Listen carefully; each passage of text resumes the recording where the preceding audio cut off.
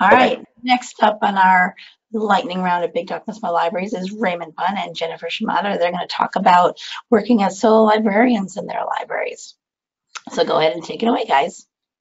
Thank you. Well, thank you all for joining. I'm really, we're really delighted to be here and to be able to speak from our respective regions. So I'm Ray Pun. I'm at the Alder Graduate School of Education as the instruction and research librarian, helping collection, acquisitions, and research services as the only librarian.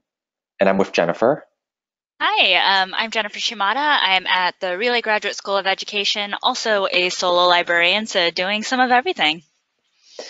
And it's really interesting because um, we're also active on Twitter, and you're welcome to um, message us there and keep in touch. We're from different coasts. I'm from the West Coast in Redwood City, and uh, Jennifer is in New York, and I'm actually from New York, and Jennifer's actually from California. Is that right, Jennifer? Yep, so we swapped. so it's funny because um, our work is actually quite aligned, and I started my position in October of 2018 um, as a new librarian, the first librarian at Alder Graduate School of Education, which I'll briefly mention more about. And Jennifer has been in a role a little bit longer, but her school at Relay Graduate School of Education is a little bit further than Alder. So it's sort of like uh, a, a, future vision tunnel for us at Alder. Um, and she'll tell you more about her role and the university and what they're doing. So, you know, we wanted to start off with some of these reflection questions. You know, we had the question of startup and we want folks to think about the word startup and whether it's good or not so good and does it blend well with academic or library cultures in general. So you sort of like think about that, why or why not, uh, in your uh, in your minds, because it's sort of like something that I think people might have misconceptions or misunderstanding.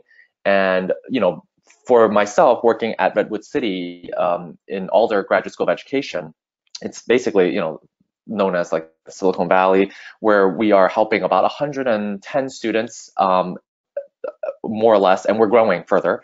And it's a graduate school of education, basically. So we are focused on helping um, graduate students, um, all 100 plus graduate students, to be public school teachers in K-12 environments, and then they're they're actually um, working full time, meaning they get placed in different districts. And at the same time, for us, my role at the library, I started um, in October of 2018, we had no website. Uh, we only had an Overdrive database, which many of you from the public libraries might be familiar. Um, and it, it, was just very um, interesting to see how it progressed now, where now there is a website um, that I have been working on, and it's set up in a way that folks can use it. Um, and also, we have a SCELC membership, which stands for Statewide California Library Consortium. So when you're doing startup, you, you it's very important to partner with different groups. Um, and this is one really important um, group to help us um, focus on database collection. And we also now have a collection development policy that I've been working with with different faculty. And then the authentication process. So for those who are in tech services, you might be wondering, or you might know already, like how the system is set up. But for many of us who have been working in outreach and public service, it's really brand new and exciting because you're figuring out how do students connect to the resources you have. And it's not really just a sign in. There's a lot of um, technical processes and workflows, and then also gathering new databases. So it's kind of exciting. So this is the context I wanted to mention in terms of startup, right? You have these different kinds of roles, and you're really moving in different directions, but you're moving in a direction that makes sense to the university's um, or the institution's mission.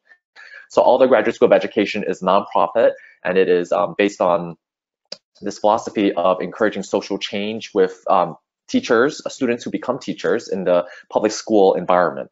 And so we really want to encourage that kind of thinking where in my work, I have to um, support students with research, but also um, setting up the library itself. So there's sort of like two different components there. Um, and so what's next for Alder? It's really interesting. We have textbooks we're working on, um, test prep resources, like I heard in the other presentation. It's so great because you know you have these opportunities to do it in person, but for the work I do, it's all distance, I should say. Um, I don't actually meet the students. We don't actually actually even have a quote unquote school and classrooms and stuff like that or a campus. It's actually all remote work. They they do the work on uh, modules on Canvas, and we meet on Zoom, which is another uh, meeting platform, online meeting platform. And so it's really interesting. I don't actually get to meet the faculty or the students, but then we all just, you know, find a way to connect anytime when they need help. And then um, it also comes down to um, developing more writing help. Um, in addition to just research, there's also writing. We know that research and writing, they go hand to hand. And really thinking about like tutorials that really work with the faculty. So at a startup context, in this uh, environment, it's really nice to work closely with faculty to develop these kinds of collaborations that support their curriculum and um, utilize the resources that we have. So, but also if it doesn't work out, we can switch because we don't have to stay with, you know, this one path. You know, that's sort of how um, a startup is. You're, you're kind of like exploring, you're experimenting, you're taking risks, but you're also taking advantage and optimizing what you have with folks with what they think might be helpful, and then you can um, try it as we're growing and going further. And it's only been our like second or third year or so, um, and then I joined October, so it's it's still relatively new. And then also we're thinking about promotions like e-newsletters, but also not being really careful and um, not to like like spam them, the students, because they get a lot of emails already, but just ensuring that they have opportunities to read the updates that we have provided in the library. And actually this one, this last tip uh, came from Jennifer, and uh, you know she's been a really great uh, coach and mentor in the process, um, being sort of like in New York and then having that experience uh, before I got to Alder. So that's how we were able to put this presentation together. And with that, I'll pass it to Jennifer. Thanks, Ray. Um, so, like Ray mentioned, Relay Graduate School of Education is very similar to Alder, just a little bit farther along in our development. So we also work in teacher and school leader uh, training and preparation. Um, our library was created in 2011, which is when Relay became an independent grad school. And I started working with Relay library around 2013. Um, so by this time, the library had most of the basics that Ray has been working on in terms of a website and databases and authentication. Um, but you can see on the screen that we have grown rapidly since 2013. We had two campuses when I started. We are at 18 campuses now, um, about 4,700 students. Um, and yes, I am the solo librarian for all of these campuses, uh, working most with most of them from a distance uh, at New York. Um, can I get the next slide? Thank you. Um, so while I didn't quite have to start from scratch, um, it's definitely still sort of a startup culture, and I had to build scale to all of those 18 campuses um, while still considering sustainability. I'm one librarian; I can only do so many at things at a time. Um, so the three main things that I've learned to do is to prioritize, collaborate, and to work smarter rather than harder. Um, so as a librarian at a small startup library, uh, there's always way more to do than you have time for. Um, you're doing all the day-to-day -day work of keeping things running, um, but you're also growing things and trying new things. Um, we call it uh, often you're building the plane as you fly it. Um, so it's really important to prioritize. So the very first thing I did when I took over the library um, was I spent about a year really getting to know the needs of the library and creating a mission and vision statement and uh, goals and strategic plans to guide my work. Um, for me, my priorities ended up being scaling up support so that we could serve all 18 campuses and creating a robust information literacy program. Um, so once you have your priorities, how do you meet those? Um, as a solo librarian, I couldn't do it without collaboration. And that's a theme I've been hearing from Ray and from some of the other presenters.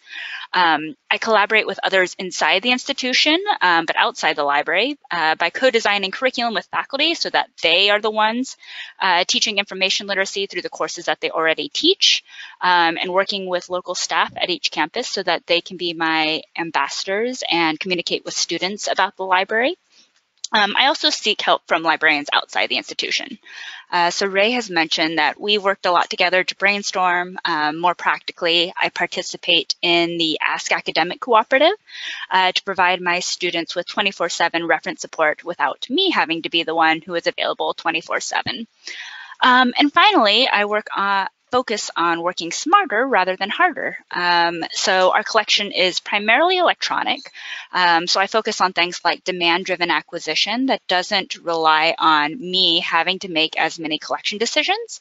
Um, and for things like outreach instruction, um, Ray mentioned newsletters. Um, that is something I do at um, Relay, um, instead of sending each campus a different newsletter, I focus really on, you know, all the math student teachers get the same newsletter. Um, webinars can be attended by students from across campuses. So I really think what are the ways that I can streamline um, but still individualized support um, for the needs of each campus and program. Um, so from all of that, uh, that is how I've been able to build a library uh, that can serve 18 campuses without burning myself out. Um, so we have some reflection questions. Um, what are the first priorities uh, if you have nothing to start with? Um, I mentioned prioritizing in my slides. Um, how would you plan that through in a small library? And where and how do you begin to purchase e-resources? Um, thank you for listening. If you have questions, you can find us on Twitter, um, and we would be happy to discuss with you and collaborate with you in the future. Great. Great. Thanks a lot, Ray and Jennifer. Um, that was really great. I, was, I wanted to hear about your very unique situations in your uh, online only practically libraries that you're working with and, and, and your education program. So that was awesome. All right.